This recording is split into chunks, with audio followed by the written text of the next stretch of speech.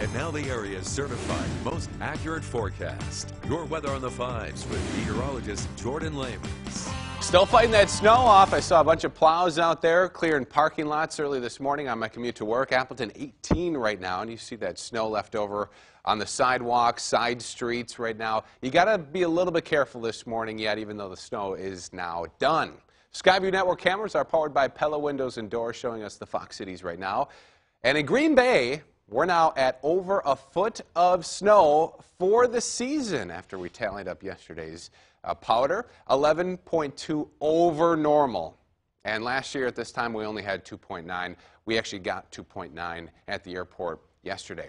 So here's your day planner. We're going to have some morning cloud cover, and I think by noon, that cloud cover will start to break up enough to give us some late day sunshine. We'll be about 29 at uh, lunch today, and our high today with uh, a lack of just full sunshine only makes it to about 31.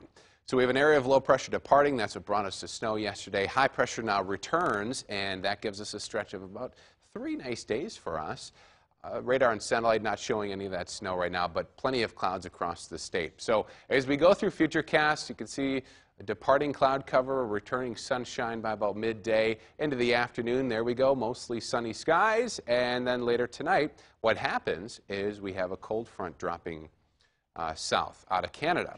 So for us, this is more of a wind shift line, and it is not going to bring uh, any precipitation, just some additional cloud cover overnight into Friday morning. High temperatures today, 31 degrees in Green Bay, about 30 through the Fox Valley. And then we get to about 32, the freezing mark in Clintonville. Same thing, lakeside, upper 20s to around 30 degrees, when normally we should hit 43. Nowhere near that. So there goes the front. Clouds and sunshine will be mixed into your Friday. Temperatures warm up just a little bit. Don't have to worry about any snow for tomorrow. 34 tomorrow, 35 for the weekend days, and then we get into the upper 30s to near 40 degrees early next week. I think that day, if we hit it, will be Wednesday.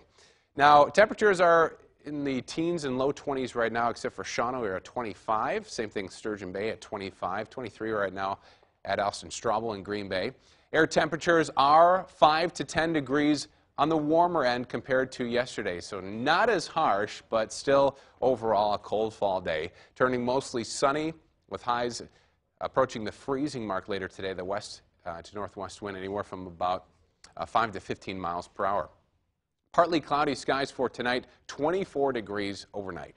Here's your seven day forecast now. So Friday, clouds and sunshine, 34. Still a little bit cloudy on Saturday, 35. And then Saturday night going into Sunday, that's going to be our next light snow chance. And if that holds off into the afternoon too on Sunday, with highs around 35, that might mix over to a few raindrops.